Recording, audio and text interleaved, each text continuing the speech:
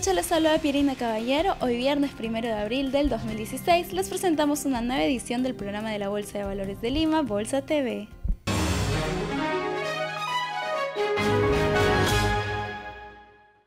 Los índices de la Bolsa de Valores de Lima culminaron la semana en terreno mixto con tendencia positiva. Es así que el índice S&P BVL Perú General cerró con un ascenso de 0,56%, cerrando en 11.890,43 puntos, mientras que los demás índices tuvieron el siguiente desempeño.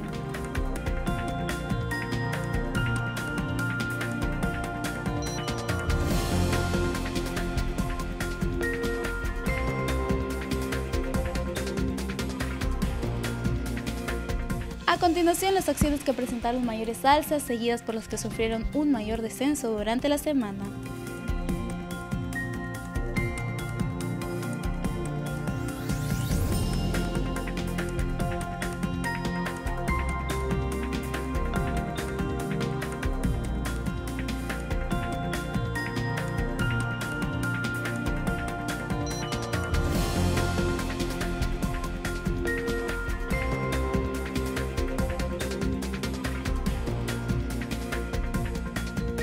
Por último, las acciones que tuvieron un mayor monto de negociación en la semana fueron las de IFS, con un total de 21.699.879 soles.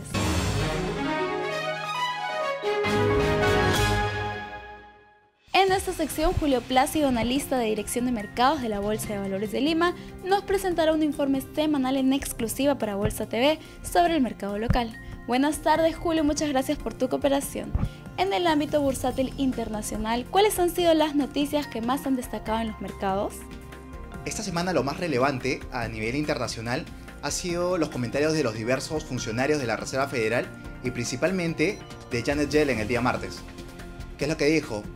La incertidumbre económico y financiera a nivel mundial, junto a una caída del precio del petróleo, ha generado ha incrementado los riesgos para la economía americana, lo que justifica que las tasas de interés se mantengan aún bajas. Esto es bueno para los países emergentes y para los commodities. ¿Cuál es el canal? El canal es si Estados Unidos dice que va a seguir las tasas bajas, quiere decir que va a seguir emitiendo dólares al mercado americano. Si sigue emitiendo dólares al mercado americano, eso significa un debilitamiento del dólar y por una relación inversa, los precios de los metales tienden a subir. Si los precios de los metales y los commodities tienden a aumentar, el mercado ve que los países emergentes, que son los principales productores de estos commodities, deberían de verse favorecidos. Entonces los flujos suelen migrar a estos países. En marzo, los flujos entrantes hacia los fondos de acciones y bonos de mercados emergentes alcanzaron un máximo de 21 meses.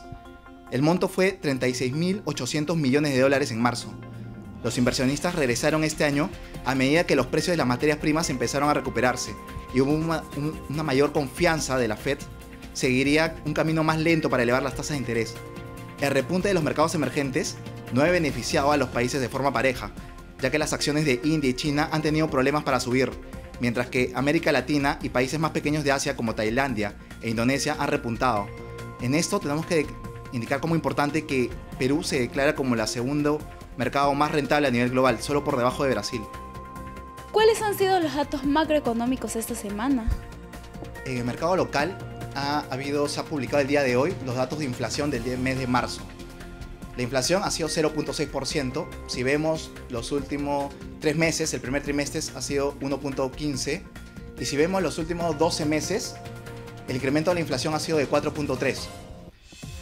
¿Qué es lo que explica la inflación del mes de marzo? Ha sido un efecto estacional, ya que en este mes se inicia la inicio de temporada de clases escolares y efecto estacional por Semana Santa que sea un mayor gasto por parte de los consumidores. Porque es importante que un inversionista monitoree la inflación. La inflación de los últimos 12 meses acumulado va 4.3. Es lo mínimo que deberías exigir en tus inversiones para que obtener algo de rentabilidad. En el contexto bursátil local, ¿cuál ha sido el desempeño de nuestra bolsa esta semana? Durante esta semana hemos, si vemos el índice Perú Select, ha subido cerca de 1 o 2%. Ha habido en los primeros días de la semana una presión fuerte de compra por lado de creación de EPU.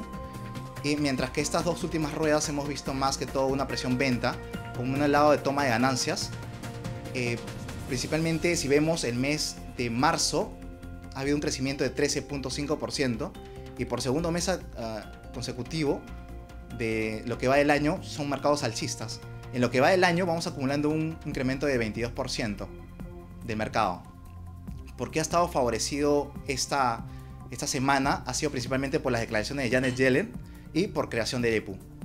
Ya desde la semana pasada el mercado ha perdido fuerza de compra. La falta de drivers por el lado del dólar y el oro, el término de construcción EPU y un alza de los mercados globales ha restado atractivo. Si vemos el gráfico S&P Perú Select, que hoy cerró a nivel de los 300 puntos, tiene un soporte técnico en los 290.9 puntos, por lo cual la caída reciente, junto con los bajos montos negociados, responde a una corrección dentro de la tendencia alcista que está teniendo nuestro mercado. Mientras tengamos noticias de un retraso en el incremento de las tasas de la Fed que eliten el dólar y con ello fortalezcan los commodities, deberíamos ver una continuidad del alza. Si se ve desde el punto más bajo de enero hasta el punto más alto esta semana, el mercado ha subido 38.5% y desde ese punto más alto hemos caído 4.55%. Estamos desde febrero en niveles de sobrecompra, Muchas gracias Julio Plácido por tu participación. Pasando a otro tema, el próximo 11 de abril inicia el seminario Bolsa de Valores, una alternativa de inversión que brinda al participante conocimientos básicos de cómo invertir, comprar, vender y negociar los instrumentos financieros de la Bolsa de Valores de Lima. Para mayor información pueden ingresar a www.bursen.com.p. Los esperamos. Bueno, eso es todo por hoy. Agradecemos a Grupo Coril, Sociedad Agente de Bolsa, por la información brindada en esta edición de Bolsa TV. No olviden que si desean tener mayor información, la encuentran en la página web de la Bolsa de Valores de Lima en www.bvl.com.p. Y también nos pueden seguir mediante nuestras redes sociales como Facebook y Twitter. Además, no olviden suscribirse a nuestro canal de YouTube. Los esperamos el día lunes.